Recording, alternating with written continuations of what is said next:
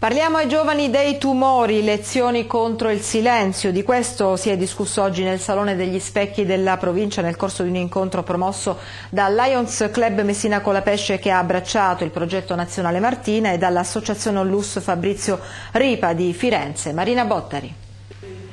Si è parlato di alleanza tra medici, istituzioni e famiglie per far fronte alle numerose problematiche a cui bisogna far fronte quando un bambino si ammala di tumore. Hanno unito allora le loro forze il Lions Club Messina Colapesce che come in tutta Italia porta avanti il progetto Martina, nato nel 2000 per volontà di una ragazzina colpita da tumore al seno, e l'associazione Fabrizio Ripa, un ragazzo di Villafranca Tirrena che a 15 anni è stato colpito dal sarcoma di Ewing, un grave tumore osseo che dopo un lungo ricovero all'ospedale Meyer di Firenze un calvario di cure amorevoli e disperate lo ha portato alla morte dopo un anno. Sostegno morale e psicologico sul malato, aiuto alle famiglie, iniziative benefiche e massima sensibilizzazione è quanto si vuole ottenere con questo tipo di progetti per combattere il silenzio su queste gravi malattie. I tumori infantili non si può ancora tacere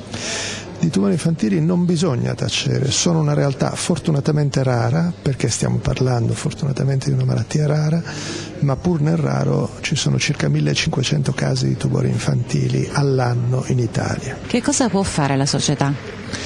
La società può e deve garantire, come per tutte le malattie, un accesso diretto e fortunatamente fino a che il nostro ordinamento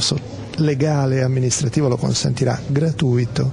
a tutti i bambini ammalati di tumore. Associazione Martina, Progetto Ripa, eh, purtroppo sono nomi di, di giovani che hanno eh, avuto queste grosse problematiche, non sono, non sono più tra noi, quindi unirsi nel loro ricordo. Assolutamente sì, noi dichiariamo un'alleanza terapeutica fra i tecnici, le famiglie, le associazioni di service, le associazioni genitori, le associazioni di supporto, ma io dico sempre anche con gli amministratori che non devono essere la nostra controparte, ma devono essere i nostri alleati perché abbiamo bisogno di ospedali e di reti sanitarie regionali intelligenti e oculate